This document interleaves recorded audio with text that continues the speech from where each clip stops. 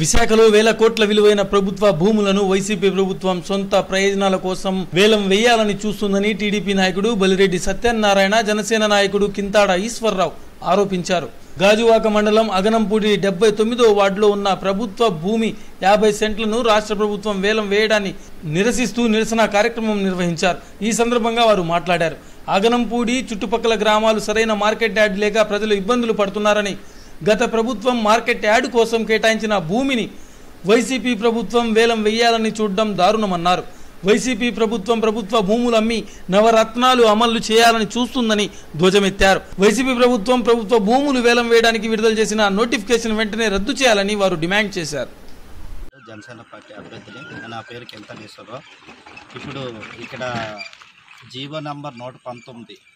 Building act రెండు వేల పదిహేడు ప్రకారం ఈ నోటిఫికేషన్ విడుదల చేశారండి జగన్మోహన్ రెడ్డి గారు. ఇదేంటంటే సర్వే నెంబర్ ఇరవై ఏడు నలభై తొమ్మిది ఈ పార్ట్ యాభై సెంట్లు భూమిని అగనంపూడి డెబ్బై తొమ్మిదో వాటి పరిధిలోది ఆక్షన్లో కానీ ఈ టెండరింగ్లో కానీ చూపించారు.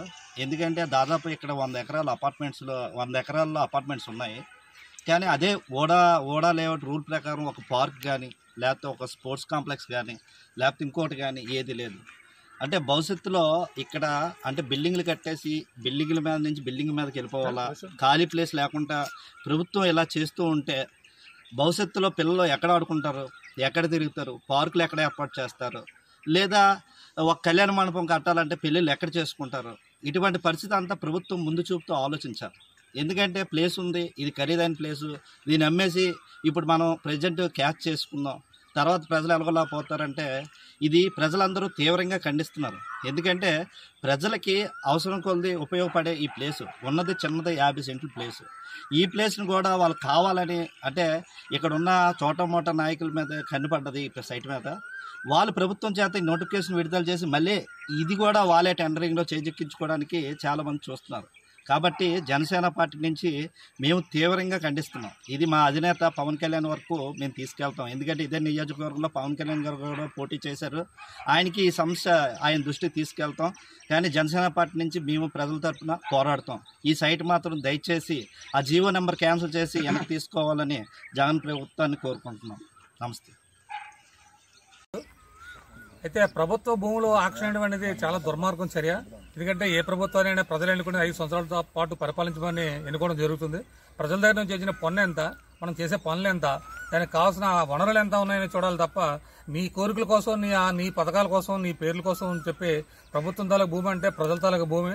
ఇది ఎవరో ఈనాడు తీసుకొచ్చిన భూమి ఏం కాదు. తాతల నాటి ఉన్న భూమిని ఈయనేదో ఐదు సంవత్సరాల పరిపాలనకు వచ్చాను నా చేతిలో ఉంది అధికారం. నాకు ఎక్కువ మంది ఎమ్మెల్యేలు ఉన్నారు.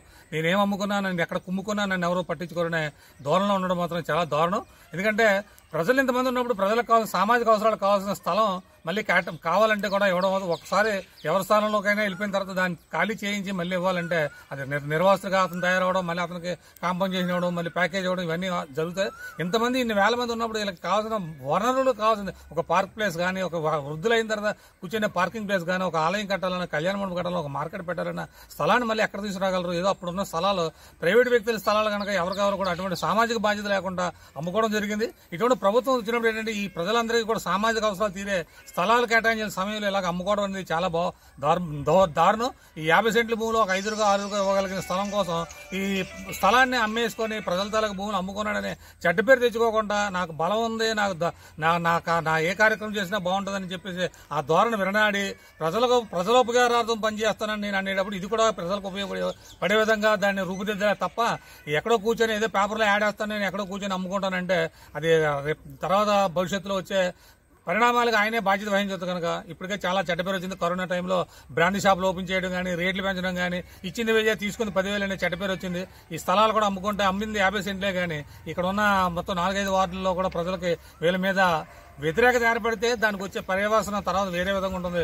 కనుక ప్రభుత్వం ఎప్పటికైనా సరే ఆలోచించి మరొకసారి పునరాలోచించి ఇటువంటి పబ్లిక్ ప్రజలకు పనికొచ్చే స్థలాల్లో ఉన్నవి అమ్మకుండా ఎక్కడో ఎడారి స్థానాల్లోనో మైదా- మైదాన ప్రాంతంలోనో ఎక్కడో ఉన్నప్పుడు ఒక పది ఎకరాలు ఇరవై ఎకరాలు ఉందంటే ఇచ్చుకున్నా పర్లేదు కానీ లేక లేక ఒక యాభై సెంట్లు ఉంటే ఆ సెంట్లు యాభై సెంట్లతో వచ్చి ఆరు కోట్ల కోసం ఇలా చేయడం అనేది చాలా దౌర్భాగ్యం. కాబట్టి ప్రజలందరి తరఫున కూడా ఇటువంటి పౌరసేవ సంఘాలన్నీ కూడా యాజమాన్య గవర్నమెంట్ తాలూకు చర్యలు ఖండించాలని ఈ సందర్భంగా కోరుకుంటున్నాను వైఎస్ఆర్సీపీ ప్రభుత్వం నవరాత్రాలు అమలు కొరకు ఏపీ బిల్డ్ మిషన్ ఆధ్వర్యంలో ప్రప్రదంగా విశాఖపట్నంలో మూడు చోట్ల గుంటూరులో తొమ్మిది చోట్ల భూములు ఏలం వేయడానికి సిద్ధమైంది.